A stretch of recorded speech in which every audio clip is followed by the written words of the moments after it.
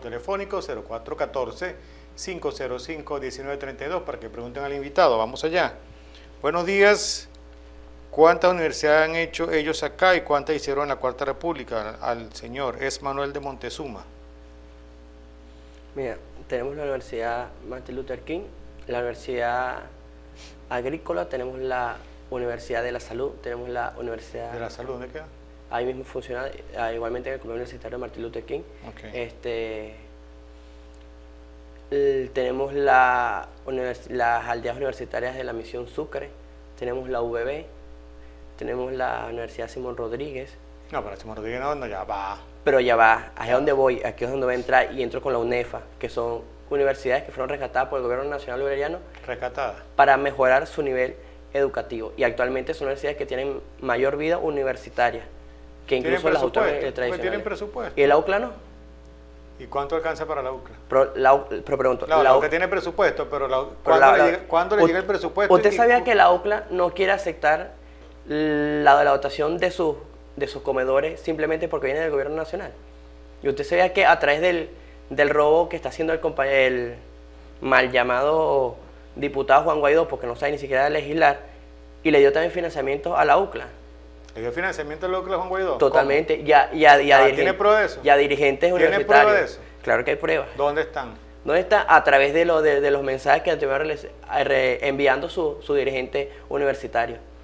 Tiene, pero yo no he visto uno. Yo, Gerardo, yo no he visto uno. ¿Dónde están? Ya, Tranquilo que... Pero eh, muéstrelo, hermano. Usted lo puede mostrar aquí. no, no, yo, mostrar. yo no estoy autorizado a, a ¿Y quién está autorizado? Yo le pregunto. Esperemos entonces que, lo- que el gobierno nacional termine sacando al momento adecuado, cuando sea correspondiente, después de finalizar las investigaciones correspondientes.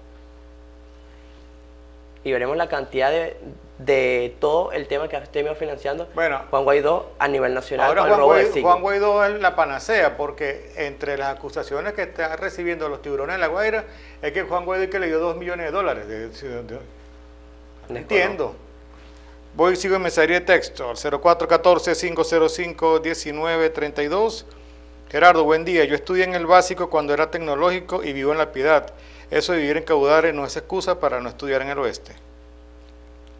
Pregunto, ¿qué, qué universidades de aquí del Estado Lara dan la carrera de Derecho? Solamente La la, Fermín y la Yacambú. y la Yacambú, ¿no? Totalmente. Esa es la razón por la cual estudio en la Fermín Toro, estudio, estudio Derecho.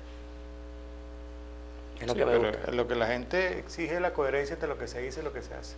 No, no, pero ya va. ¿cuál- ahí está la coherencia, pues si estudio Derecho, me voy a estudiar en una universidad donde no dan la, la carrera de Derecho. Pregunto, si usted quiere estudiar comunicación social, ¿para dónde se va a estudiar? ¿A dónde dan ingeniería? Yo creo que no, pues. Uno va para donde está estudiando Está bien. comunicación social. Eh, no. Voy a aprovechar, más allá de- del tema político, eh, mi sentido pésame a David Freites. Amigo. Amigo, y por eso lo digo. Su madre, Nair, falleció hace unos minutos, a decir minutos. Así que paz a los restos en nombre de la corporación Somos Televisión y en lo personal, David, lo sentimos mucho, lo sentimos de corazón, el fallecimiento de tu señora madre. Mi sentido, mi pésame a un compañero de lucha, diputado al Consejo Legislativo, David Freite, que ha tenido una pérdida significante en su vida como es la de, de su mamá.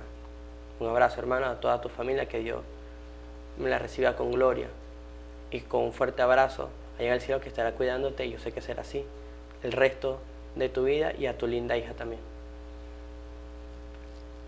Ok, volvemos al tema.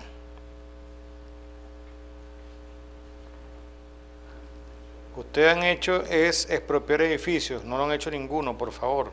No sé a qué se refieren con esto. Eh, La Luther- la Martin Luther King fue, que, fue construida por la Revolución Bolivariana. Sí, esa queda en. en todo el barrio Bolívar, cerca Sí, de- sí, del monumento sí. Batea los Holcones. Sí. Lo que pasa es que la gente no sabe dónde está. Yo recuerdo que hace como 20 años hice un trabajo ahí. Y ni los vecinos sabían dónde fue la batalla de los horcones.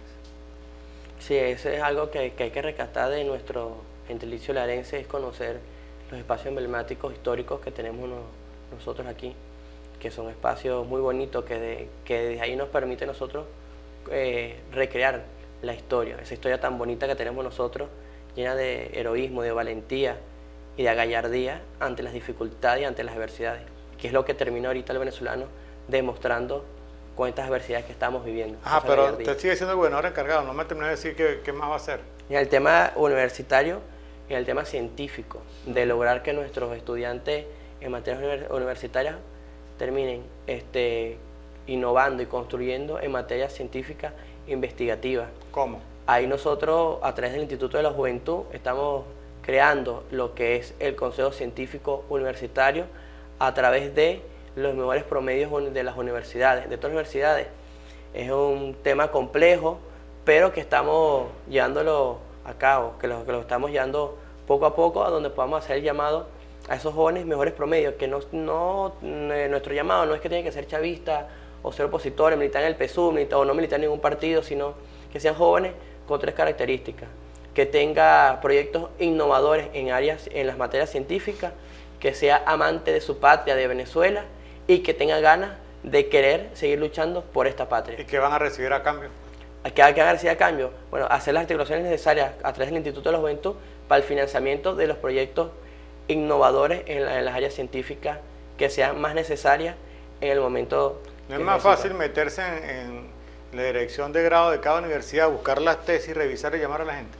También, también, también yo no, porque, no, no, también es necesario, pero más, pero también es importante que nuestros jóvenes que están actualmente ahorita, que se han quedado a luchar por Venezuela, que se han quedado estudiando ante las diversidades, decirle, mira, le estás, echando, le estás echando un camión y aquí está un gobierno nacional, aquí está un Estado venezolano que quiere a ti ayudarte a que sigas adelante con tu sueño, que no hay nada más bonito que perseguir tu sueño y que aparte de eso venga alguien y te diga, vamos, que si puede, sé que es difícil y va a estar y va, y va a haber muchas adversidades, pero tú puedes lograrlo. ¿Es suya o está pasando?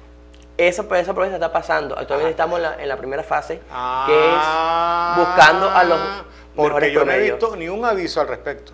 No, estamos en la primera fase, que es en la de captación de los jóvenes en mejores promedios de las universidades en las áreas científicas como ingeniería mecánica, ingeniería... La OXU se lo puede pasar rapidita. Sí, pero nosotros no queremos una, una simplemente una data que diga, sí, estos son.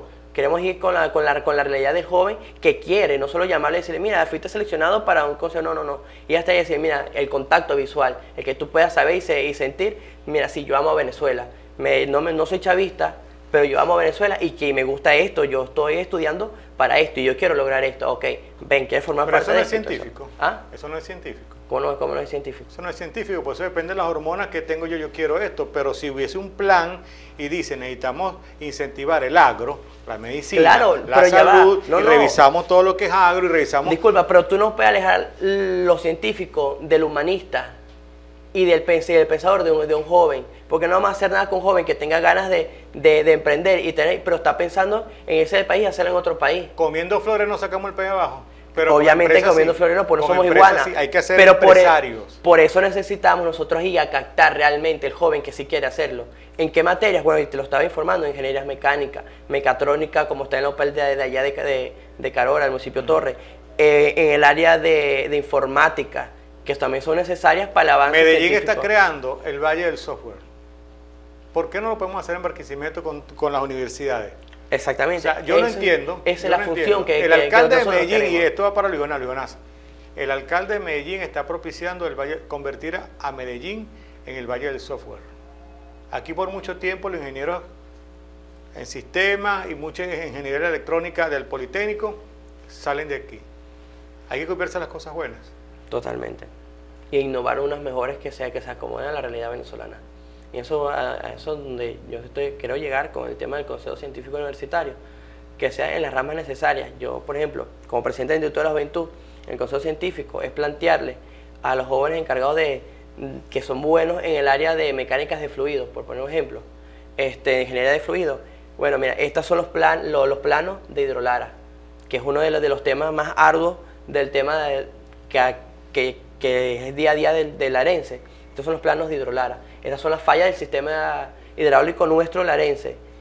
¿Cómo podemos acomodar esto? Ah, pero no vaya a ser que cuando la academia les diga que lo que están haciendo mal, entonces ya la academia es mala. No, no, no, ahí necesitamos consejos de todos, siempre y cuando no sea por razones políticas, siempre y cuando sea por razones técnicas necesarias para la, la academia. Amigo, hay una alianza, este, hay, un, hay una ONG en Palavecino, creo que se llama Caudales Sedientos, eso fue que, los que entrevistamos estos días Y ellos se sentaron con toda la experiencia del mundo, le dijeron a Numa, no, vamos a trabajar y Numa está trabajando con ellos.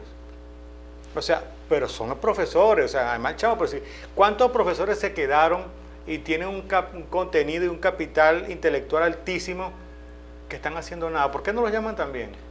Bueno, ahí porque como, mm, como presidente del Instituto de la Juventud mm, abarco una población joven, estoy, estamos enfocados desde el Gobierno Nacional a través del Instituto de la Juventud es la captación de los jóvenes, por eso vamos a una población juvenil, población que tenga entre 15 a 35 años de edad.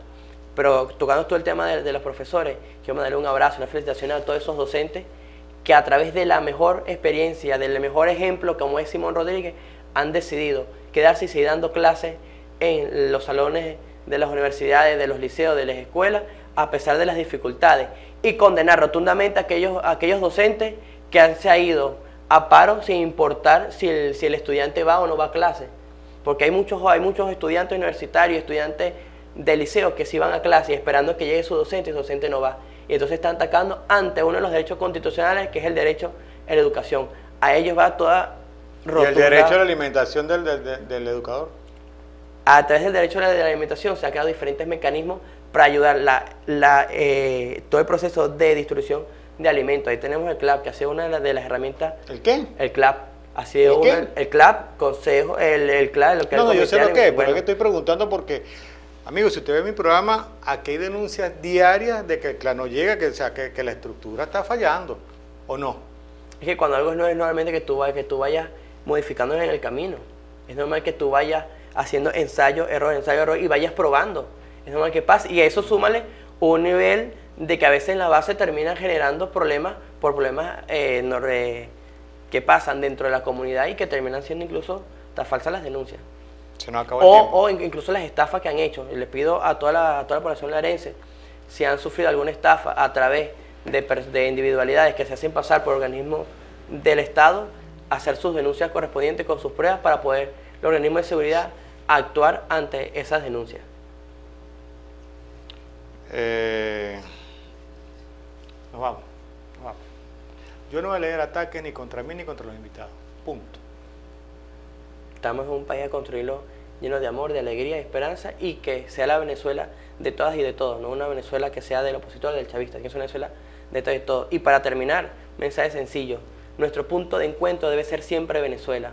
La Venezuela que tú quieres, la Venezuela que yo quiero, construyámoslo juntos a pesar de nuestras diferencias. Que nuestra diferencia quede a un lado y que nuestro punto de encuentro siempre sea Venezuela para poder construir, que es la que soñamos todas y todos. Gracias a Dios de la Divina Pastora por acompañarme. Ustedes, como siempre, conectados a la señal de Somos Televisión. Este programa lo pueden ver en nuestro canal de YouTube de Corporación Somos. Feliz día.